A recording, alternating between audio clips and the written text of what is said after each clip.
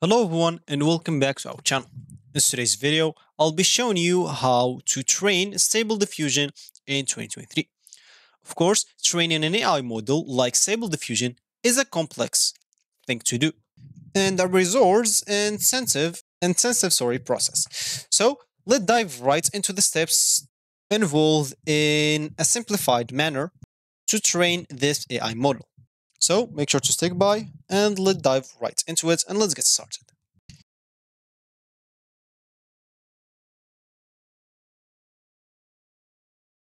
Before we start with this video, make sure to watch it from now till the end so you have full experience. Of course, before starting the training process, it's crucial to define your objectives. So make sure to de determine or determine your uh, specific tasks or domain you want Stable Diffusion to excel in, whether it generating realistic images, enhancing image quality, or improving the image text translation. Having a clear objective will guide you will guide your training process.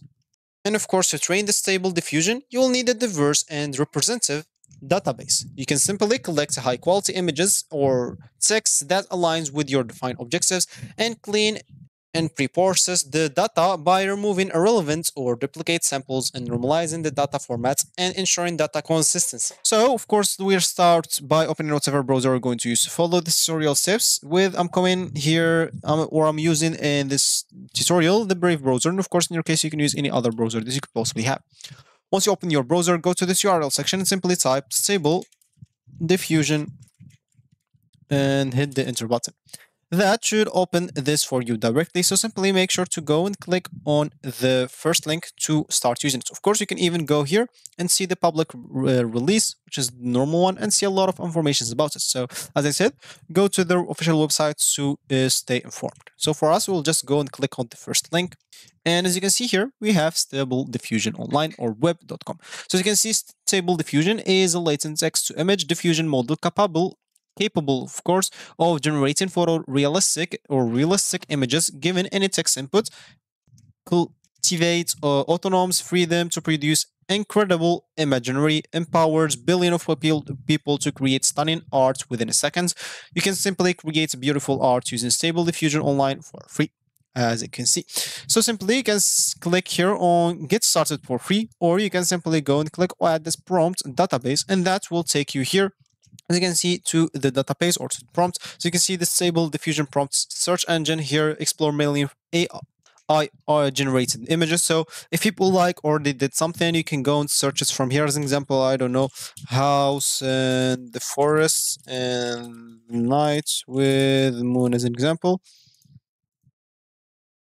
And click on search and we will see as you can see some uh, people that already did that and you will find here the images as you can see so they will even show you what they typed here and what they search and so they can generate this for us as we said we'll have to click on start for free and as you can see we'll have to simply go here and enter our prompts so of course, just enter your prompt and click to uh, the generate button. No code required to generate your image.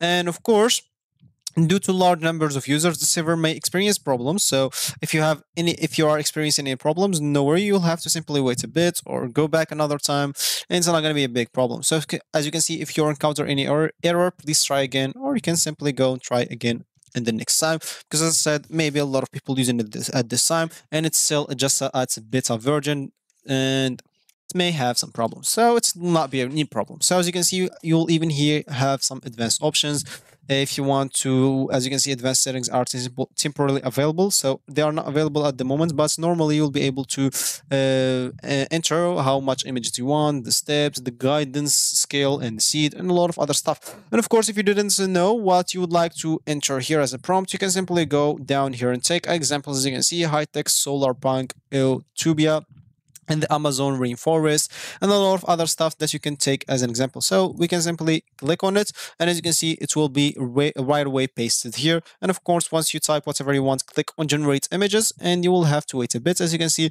they tell us that it will take six seconds. Of course this could take more not uh, like it should not be six seconds exactly but as you can see once it's finished as you can see you'll find you will have your four images here. You'll be able to share it to the community if you want or simply click on whatever image you like and you'll be able to save it for your device. And if you click on it it will go through all the four images that uh, generated. Of course you can even change this as an example. So let's just change this to as an example to a red moon. Of course just try and click on generate images. Of course, this will take uh, maybe two five seconds, so we'll have to wait a bit until the process finish. As I said, this may take longer.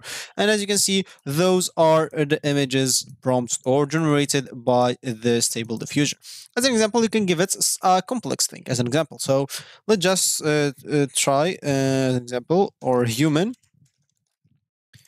uh, walking on the sun as an example let's just add uh, while the sun is attacking earth. Let's just try that as an example. Uh, and earth no no let, let's just leave it like that and we can add something in the future maybe. So this will take in five seconds maybe so we'll have to wait a bit the processing again.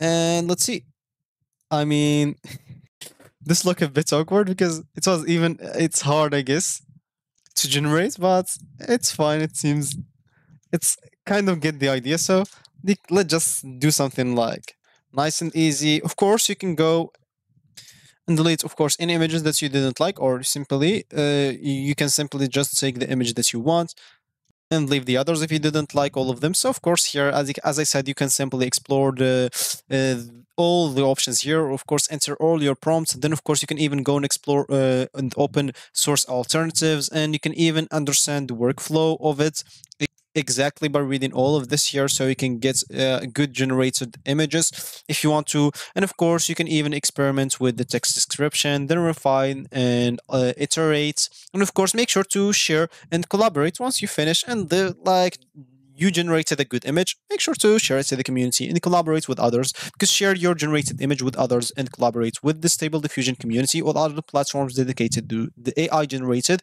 art. Of course, uh, engage with discussions and exchange ideas as an example and learn from fellow other people.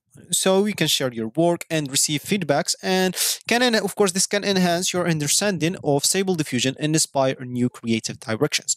And of course as you use your stable diffusion make sure to provide uh, feedback to the developers reporting any bugs suggesting improvements or sharing your experience and contribute uh, to the refinement on future development of stable diffusion. Of course your feedback will help shape the tool and make it even better for future users we can even go and try other options from here, from these examples, an example and generate the images. And of course, this uh, generating images will help you train like this stable diffusion AI. And of course, the most important uh, other things that you can do to uh, train this AI is to have your feedbacks and share to the community.